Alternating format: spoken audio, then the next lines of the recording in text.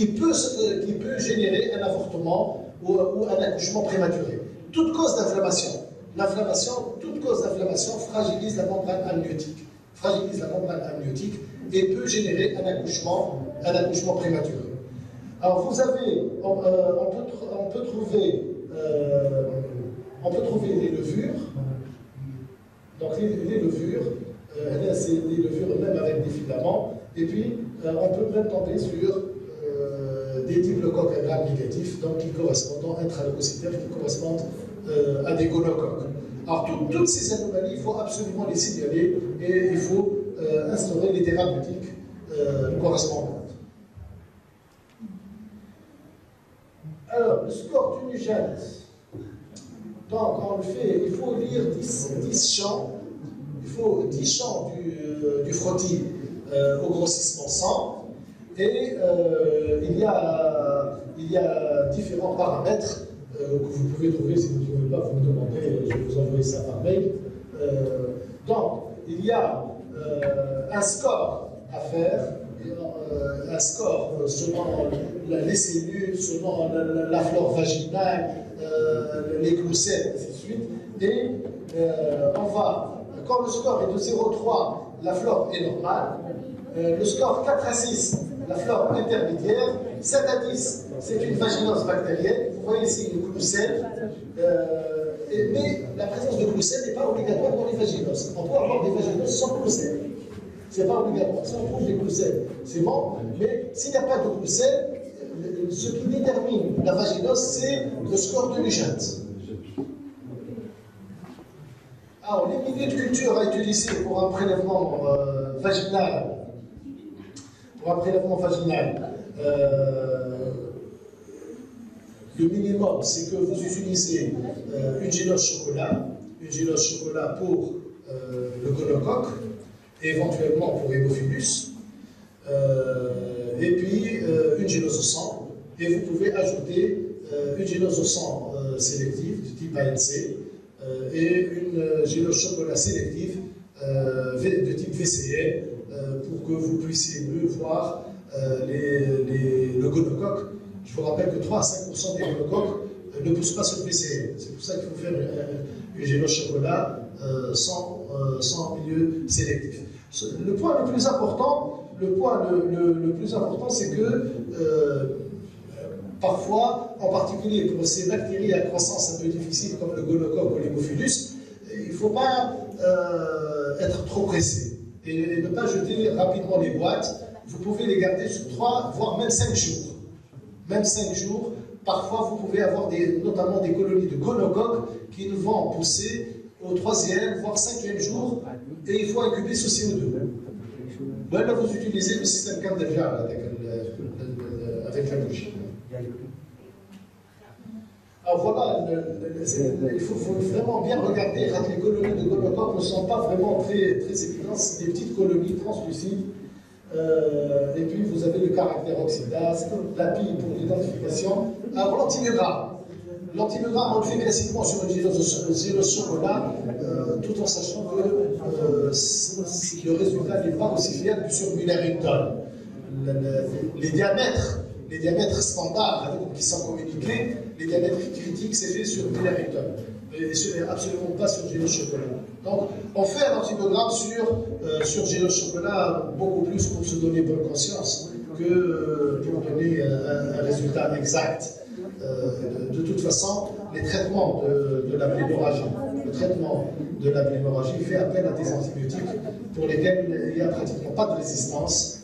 Euh, malheureusement, l'aspect n'est plus disponible en Tunisie pour des raisons qu'on ignore. Euh, si bien que le traitement actuellement, c'est la ceftriaxone. Quand tu disais la ceftriaxone, il n'y a pas de résistance pour la ceftriaxone. Chlamydia trachomatis. Chlamydia trachomatis est une bactérie qui est très fréquente dans notre exercice quotidien. Euh, on estime, notamment il y a une étude qui a été faite à Sfax, qui a démontré qu'environ un tiers des infertilités en Tunisie sont les séquelles d'une infection à chlamydia. Euh, ces infections passent pratiquement toujours inaperçues parce que l'infection est très peu symptomatique, voire totalement asymptomatique chez la femme. et elle va se révéler par des complications, euh, grossesse extra-utérine, voire euh, infertilité, voire stérilité. Et cette bactérie, également, elle est sous-estimée quant à son risque de contamination néonatale. Alors, les, gens sont braqués sur streptocoque B et sur gonocoque. Il faut savoir que la, contamination du nouveau-né par chlamydia, trachomatis, se traduit par une pathie interstitielle trois semaines après l'accouchement et que elle peut laisser des séquelles et en particulier on a démontré qu'environ un tiers des enfants, un tiers des enfants qui font une infection bronchopulmonaire à chlamydia trachomatis à la naissance développent un asthme hein, euh, quand ils sont nourrissants. C'est-à-dire quelques années après, euh, quand ils sont nourrissants, ils vont devenir, un tiers devient asthmatique. Donc, chlamydia trachomatis euh, doit être dépisté comme risque d'infection néonatale au même titre que euh, B et comme le gonocoque. Alors, euh, les chlamydia, les chlamydia trachomatis, il y a plusieurs variétés, ça j'avais assez complexe, ce qu'on appelle les souches oculogénitales. Ce sont des souches euh, donnent une infection qui évolue très lentement de manière asymptomatique vers les complications. Et puis, il y a certaines variétés euh, qu'on n'a pas en Tunisie, qu'on trouve dans les régions intertropicales, les souches L qui sont, elles, euh, beaucoup plus agressives. Alors le diagnostic, il a beaucoup évolué, il n'y a plus de IF, maintenant il n'y a plus d'ELISA, le diagnostic se fait par PCR, c'est-à-dire le diagnostic euh, génomique par PCR, c'est très, très fiable, c'est moyennement coûteux, les coûts sont en train de, de diminuer, mais c'est un moyen de diagnostic tout à fait fiable. Alors, les mycoplasmes génitaux. Les mycoplasmes génitaux sont un groupe de bactéries qui également ne sont pas bien connus. Euh, il y a plusieurs espèces de mycoplasmes. Ce sont des bactéries qui ne sont pas sexuellement transmissibles. Et ça, c'est important à savoir, notamment quand vous, euh, vous avez un entretien avec euh, les patients il ne faut pas annoncer à la légère le caractère sexuellement transmissible. Ça peut avoir de graves conséquences sociales, c'est de graves conséquences sur le couple. Les mycoplasmes, ureaplasma, urealyticum, mycoplasma hominis, toutes les mycoplasmes existent à l'état physiologique dans le tractus urogénital de l'homme et de la femme. Elles sont éliminées avec une éclairance, avec les sécrétions génitales. Quand il y a des séquelles, quand il y a des séquelles d'infection à chlamydia, quand il y a des séquelles, ça marche bien. Donc, quand il y a des séquelles d'infection euh, à chlamydia, le chlamydia parle des zones de striction. Elle crée des zones de striction. Et ces zones, ces de striction créent des dilatations en amont, qui sont des sortes de connexions. Et dans ces connexions, vous avez une prolifération de ces mycoplasmes qui sont des hôtes tout à fait physiologiques des voies urinaires. Alors, on a calculé que quand la prolifération dépasse 10 puissance 4 unités biologiques, pour l'instant on les quantifie en unités euh, biologiques, métaboliques, quand elle dépasse 10 puissance 4 unités euh, métaboliques, elle crée un état inflammatoire. Et donc cet état inflammatoire va se traduire par une urétrite, par une, euh, beaucoup plus chez l'homme que chez la femme. Chez la femme, c'est pratiquement quasi asymptomatique. Mais chez l'homme, ça peut donner le tableau d'une urétrite avec un écoulement muqueux. Cette prolifération de mycoplasmes a d'autres conséquences. En particulier, les mycoplasmes s'absorbent sur les spermatozoïdes et les spermatozoïdes perdent leur chimiotactisme, c'est-à-dire qu'ils deviennent non fécondants. C'est-à-dire, c'est pour ça qu'il y a intérêt à aller chercher dans les bilans euh, de fécondation in vitro. S'il y a une prolifération de mycoplasmes, la fécondation in vitro ne marchera pas. Les mycoplasmes vont s'absorber sur les spermatozoïdes euh, et ils perdent, ils n'arrivent plus à trouver l'ovule. Il y a plus de, le chemin se fait par chimiotactisme. Donc, c'est un facteur de stérilité. Alors, les mycoplasmes, quand on les traite, c'est pour diminuer le taux. On diminue le taux. Quand on diminue le taux, les choses reviennent à la normale. Ils n'expriment plus un pouvoir pathogène. Mais ce sont, il faut savoir que les mycoplasmes sont des bactéries normales du tractus urogénital. Urogénital, ce n'est pas du tout une bactérie qui est sexuellement transmissible, c'est pas comme chlamydia. Alors il y a juste une seule espèce, une seule espèce, euh, Mycoplasma genitalum. Mycoplasma genitalum, euh, au cours des dernières années, on a démontré que contrairement à toutes les autres espèces, elle, elle est sexuellement transmissible. Et elle se comporte pratiquement comme Chlamydia trachomatis. Alors, le diagnostic des mycoplasmes, il se fait par quantification, il se fait par quantification métabolique euh, jusqu'à maintenant. Voilà, il y a des, euh, kits qui permettent de, voir selon l'activité métabolique, de quantifier ces mycoplasmes. Si on trouve au-delà de 10 puissance 4 unités euh, métaboliques, la personne doit être traitée pour diminuer le taux euh, de mycoplasme.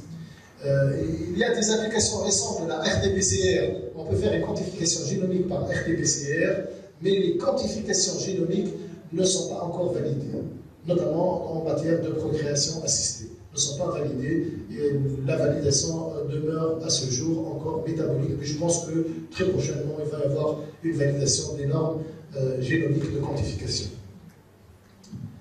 On peut faire des cultures, hein. c'est avant, euh, ça c'est l'ancienne bactériologie, on peut faire, euh, c'est assez intéressant, ça donne des colonies qu'on ne voit pas à l'œil nu, il faut les, on, les voit au microscope. On met au 640 pour voir ces cultures. C'est pas facile à cultiver c'est assez compliqué. Alors, bon, je finis. Alors, euh, l'herpès génital. L'herpès génital est quelque chose également de fréquent dans nos pays, dans notre pays. Euh, je vous rappelle que la constatation, les gynécologues, et plus à la fois les obstétriciens, donc la constatation de vésicule euh, à l'œil nu est une contre-indication à l'accouchement par voie basse.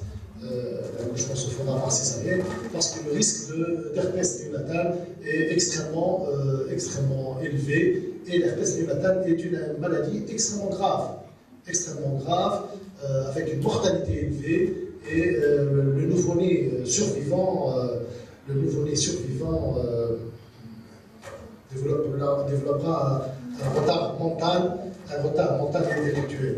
Ça, touche les, aires temporaux qui sont les régions de l'imagination chez l'homme. Donc il n'y aura plus d'imagination. En tout cas, il aura un, retard euh, Donc l'herpès néonatal est quelque chose de vraiment très très grave. Euh, le diagnostic est essentiellement clinique. Le diagnostic il est essentiellement clinique. Donc s'il y a des vésicules, c'est facile. Vous n'accrochez pas par croix basse. Alors le problème c'est que quand il n'y a pas de vésicules, ceci n'exclut pas qu'il n'y a pas de virus herpès dans les sécrétions euh, génitales vous avez une récurrence, vous avez une sécrétion intermittente de virus herpétique dans les sécrétions vaginales et qui peut être exagérée par les situations de stress. Et la grossesse fait partie des situations de stress qui peuvent euh, provoquer une sécrétion de virus herpétique.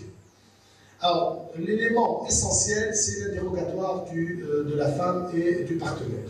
Il faut chercher dans les antécédents de la femme si elle n'a pas eu des éruptions vésiculeuses, si elle n'a pas des antécédents d'herpès. Et si vraiment elle a des antécédents d'herpès, il faut considérer, il faut considérer a un risque très élevé qu'il y ait de l'herpès. Très élevé.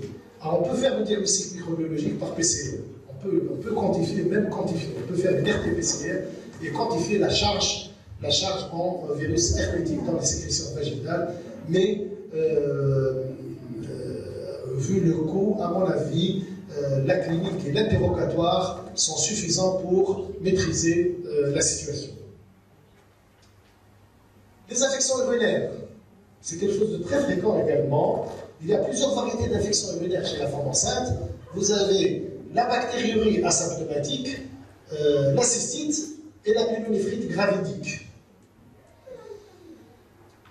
Et toutes les trois sont dangereuses pour la grossesse. Sont dangereuses pour la grossesse pour la simple raison que la femme enceinte est très sensible aux endotoxines. Très, sensible aux endotoxines. Le fœtus est également très sensible aux endotoxines. Et c'est pour ça que, contrairement à la femme qui n'est pas enceinte, à l'homme, ou alors il fait rarement. Mais toutes les bactériuries asymptomatiques ne sont pas à traiter, on ne traite pas. Les bactériuries asymptomatiques ne sont traitées que chez la femme enceinte et chez l'homme euh, en pré-examen euh, endoscopique.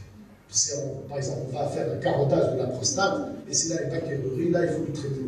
Mais, euh, mais chez la femme enceinte, même quand la bactériurie est asymptomatique, il, faut, il la traiter. Alors la cystite aussi, la cystite aussi, et la pyélonéphrite, la gravidique encore plus, parce que c'est un état septicémique, la, la pyélonéphrite.